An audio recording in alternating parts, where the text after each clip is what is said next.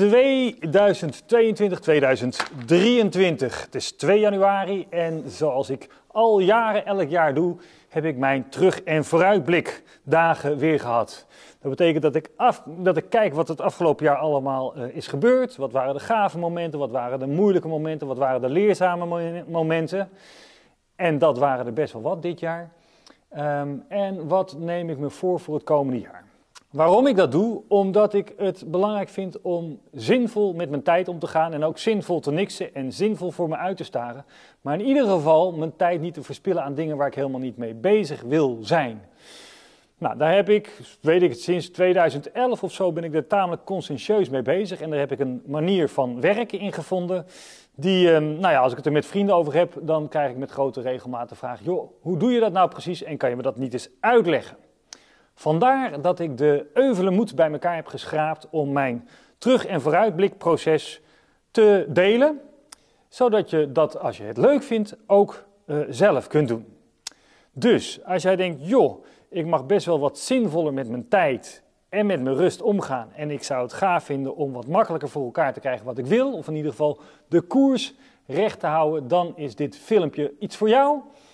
Ik zal als ik ergens naar uh, verwijs, de links onder het filmpje uh, beschrijven, dan kan je alles terugvinden. We delen het op in vier hoofdstukken. Hoofdstuk 1 is het document wat ik gebruik voor mijn terug- en vooruitblik. Dat is het Year Compass. Hoofdstuk 2 is dat op basis van dat Year Compass je doelen kan beschrijven voor het komend jaar. Hoofdstuk 3 is dat ik dat vervolgens in mijn Things, een soort to-do-lijst zet, waardoor het elke week op een bepaald moment terugkomt in mijn to-do-list. En dan kan ik kijken, ben ik nog de dingen aan het doen die ik me voor had genomen? Ik wijk met grote regelmaat van de koers af, maar dan in ieder geval bewust, omdat ik het wil en niet omdat het me overkomt. En hoofdstuk 4 is Locksit, een appje wat ik op mijn iPhone heb gezet, waarin ik dagelijks kan gaan bijhouden hoe het met me gaat.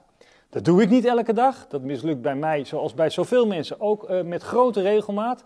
Maar toch weet ik dat ik sinds 2011 uh, mijn dagen gemiddeld met een 7,4 beoordeel.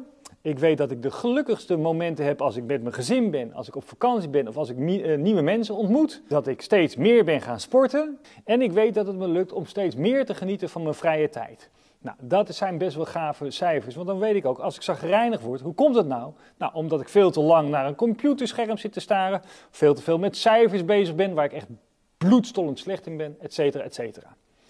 We beginnen met hoofdstuk 1, de Year Compass. En dat is door een, ja, ik ken ze niet eens, maar volgens mij is de groep gewoon enthousiaste vrijwilligers vormgegeven document met vragen. En dat kan je gewoon downloaden. Dus ik link het hieronder als je dat leuk vindt.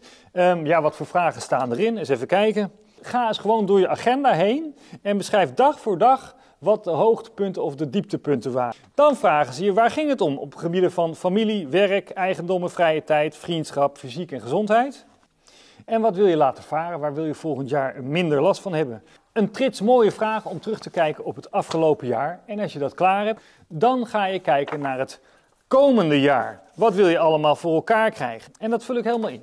En dan komt de grap. Als je dit hebt gedaan, dan kan je het in alle rust nog eens teruglezen. En dan kan je zeggen, oké, dus ik wil deze dingen in ieder geval het komend jaar voor elkaar krijgen. Bij mij was het het afgelopen jaar, ik wil minimaal 4000 kilometer gefietst hebben. Ik wil genoeg mooie tijd met mijn gezin en dierbaren hebben doorgebracht. Ik wil minimaal vijf gave experiences hebben georganiseerd.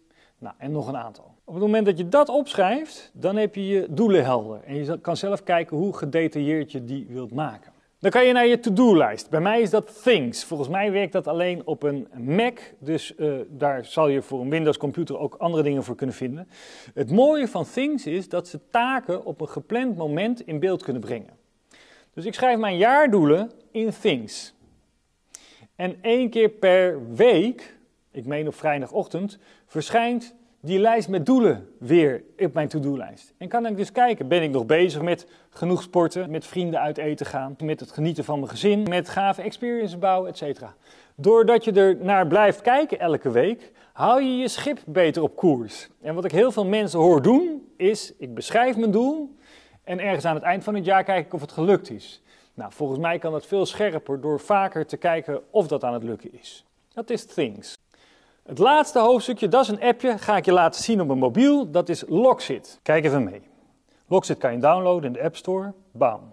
En daarin kan je zelf categorieën aanmaken. Dus ik doe dagcijfers en dagelijkse routines. Die dagcijfers doe ik van uh, nou, 10, 9, 8, 7, 6, 5. Zo af en toe misschien een viertje. En aan het eind van een uh, dag, meestal eventjes uh, vlak voordat ik naar boven ga, kan ik kijken, laten we zeggen dat vandaag een, een, een 9 is. En dan kan ik er nog bij zetten, dat heb ik in dit geval al gedaan, gave dag, want gaaf filmpje gemaakt en lekker gefietst. En dan sla ik hem op. Aan het eind van het jaar kan je dit bestand exporteren. En dan zie je dus in een CSV-bestand de cijfers die je de dag hebt gegeven en waarom je dat vond. Dan kan je gaan zien, hey, door deze dingen te doen vind ik mijn dagen gaver en door deze dingen mee te maken vind ik ze minder gaaf. En daarmee kan je je doelstellingen voor het jaar daarop scherper of leuker maken. Dit appje, Locksit, helpt mij dus om te ontdekken waar krijg ik energie van, waar word ik blij van. Met andere woorden, wanneer vind ik mijn dagen leuker en wanneer en waardoor vind ik mijn dagen minder leuk. Locksit te downloaden in de App Store. Nou, als je die vier eenheid maakt, dus Year Kompas, daaruit je doelen extraheren, dat in een takenlijst zetten waardoor het blijft terugkomen op je, uh, op je vizier en bijhouden in Locksit, zodat je bijna dagelijks kan kijken, hey, zit ik op koers? Dat is de manier waarop ik in ieder geval omga met doelen stellen en vasthouden aan de gevaren koers, of in ieder geval bewust van de koers afwijken als dat nodig is. Ik hoop dat je er wat aan hebt.